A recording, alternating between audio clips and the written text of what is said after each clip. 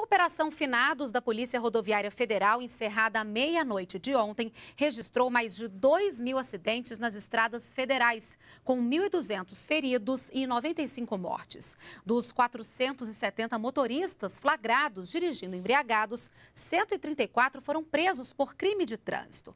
Além disso, 1.037 pessoas sem habilitação foram impedidas de seguir viagem.